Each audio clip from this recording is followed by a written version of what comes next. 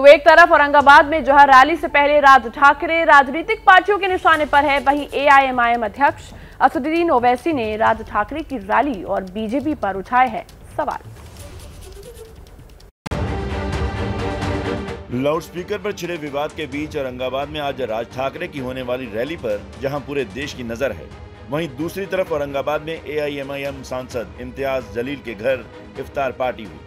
जलील ने राज ठाकरे को भी अपनी इफ्तार पार्टी में बुलाने का पॉलिटिकल स्टंट खेला था। लेकिन राज ठाकरे औरंगाबाद तो पहुँचे, पर एआईएमआईएम सांसद की इफ्तार पार्टी में नहीं पहुँचे। हालाँकि इस इफ्तार में एआईएमआईएम अध्यक्ष ओवैसी ज़रूर शामिल हुए, जहाँ ओवैसी ने राज ठाकरे और बीजेपी दोनों पर निशाना भी साधा। ये पूरे देश में कौन हिंदुत्व आइडियोलॉजी पे ज़्यादा वफादार है? उसका कंपटीशन चल रहा है, जिसमें सब पार्टी शामिल हैं।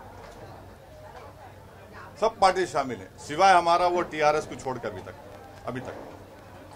पूरे लगे हुए उसमें दौड़ में। सब लगे हुए हैं। भाग भाग भाग भाग। उसी में लगे हुए हैं। आप देखो क्या जुमला दे रहे क्या बोल रहे हैं लोग?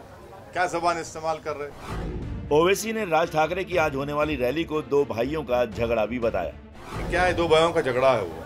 मेरे को क्या करना है उसमें? हमारा बोलना इतना है कि लॉ एंड ऑर्डर खराब नहीं होनी चाहिए।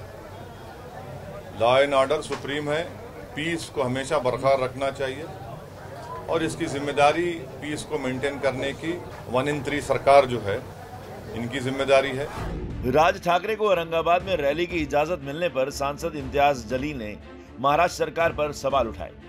ऐसे माहौल के अंदर उन्होंने यहाँ पर परमिशन देना कहीं ना कहीं ये एक ऐसी एक चाल चली जा रही है, जिसके अंदर उन्हें कोई फ़र्क नहीं पड़ता है कि शहर का माहौल ख़राब हो, ज़िले का माहौल ख़राब हो, हमने परमिशन दे दिया तो आओ, भाषण दो और आपको क्या करने का है करके।